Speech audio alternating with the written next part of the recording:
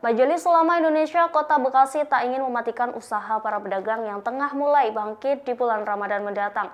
Untuk itu pihaknya memperbolehkan warung makanan untuk tetap membuka usahanya dengan syarat harus menghormati masyarakat yang tengah menjalani ibadah puasa. Dikutip dari tribunbekasi.com, hal tersebut dikatakan oleh Sekretaris Umum MUI Kota Bekasi Hasnul Khalid pada Senin 28 Maret 2022. Hasdul mengatakan ia memiliki pandangan tersendiri untuk memperbolehkan pengusaha makanan untuk tetap buka selama bulan Ramadan.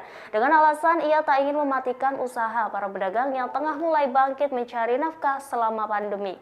Hasnul mengatakan dirinya tidak ingin memberatkan masyarakat dengan kebijakan tertentu. Oleh karena itu, MUI Kota Bekasi memperbolehkan usaha tempat makan untuk bisa buka seperti biasa. Dinas Ketahanan Pangan Pertanian dan Perikanan Kota Bekasi, Widaya Subroto memprediksi akan terjadi kenaikan harga sejumlah bahan pokok menjelang Ramadan mendatang.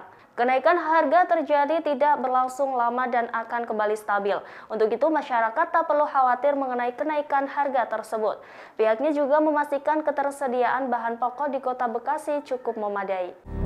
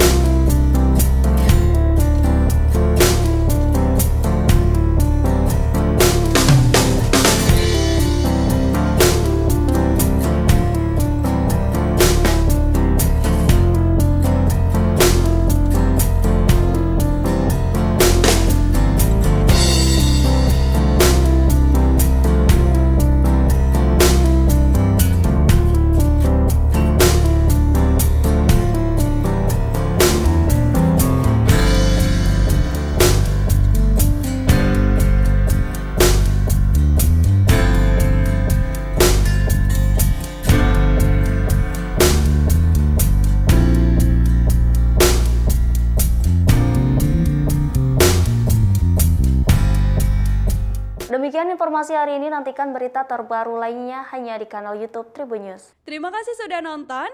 Jangan lupa like, subscribe, dan share ya.